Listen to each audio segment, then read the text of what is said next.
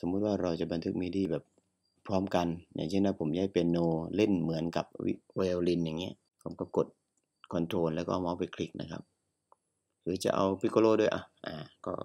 กดคอนโทรลแล้วเอามาส์ไปคลิก หรือกดที่คอมมานด์แล้วเอาเมาส์ไปคลิกใน Mac นะครับนั้นเวลาเราเล่นมาเนี่ย จะมี 3 เสียงเห็นไหมครับ สัญญาณ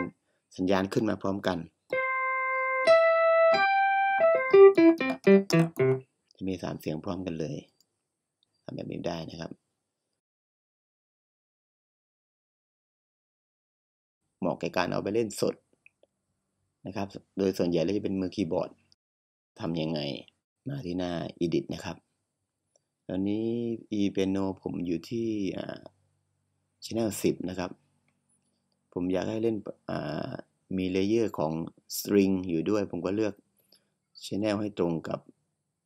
e piano นะครับ ก็ไปเลือกเปลี่ยนตรงนี้นะครับ เป็น channel 10 เสียงที่มาก็จะเป็นแบบนี้ครับ ดังพร้อมกันนะ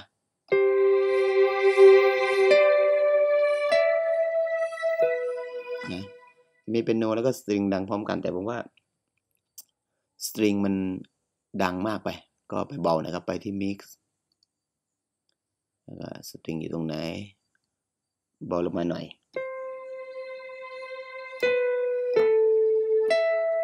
นะครับ นี่เรามาตั้งความดังได้นะครับ ก็ก็ได้แล้วสองเสียงพร้อมกัน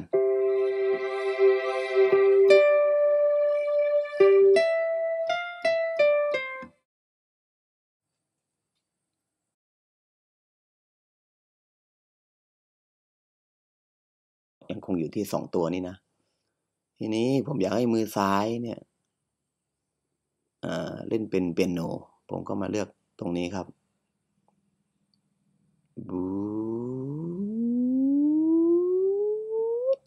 พออยังโอเคแค่แค่ b 3ดีกว่า อ่า แค่ b 3ส่วน string ผมก็จะเล่นด้วยมือขวา ก็ไปอ๋อแต่ฝั่งนี้ฝั่งนี้ หดมันไปไปถึงที่ตำแหน่ง c 4 สี่สี่เป็นเป็นโนไหมนั่นแหละครับ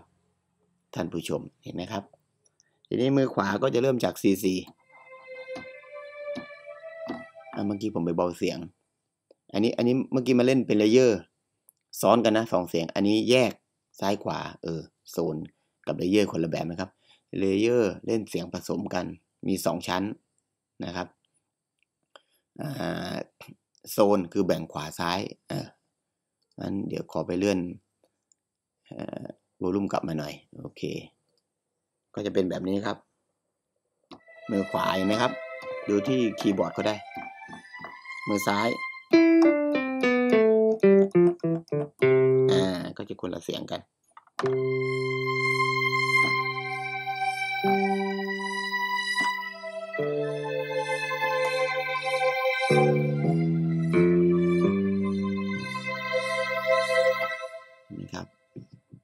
แบบนี้แบบนี้ก็เอาไป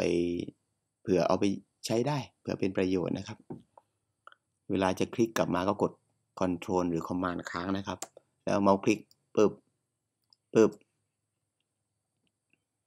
นะครับ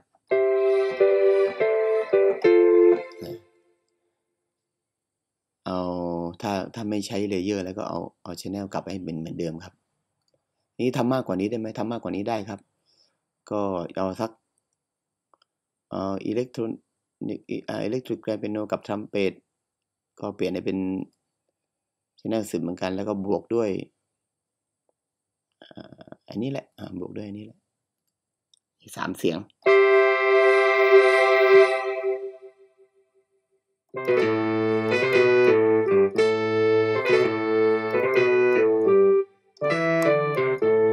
นะ ก็จะมีสามเสียงซ้อนกัน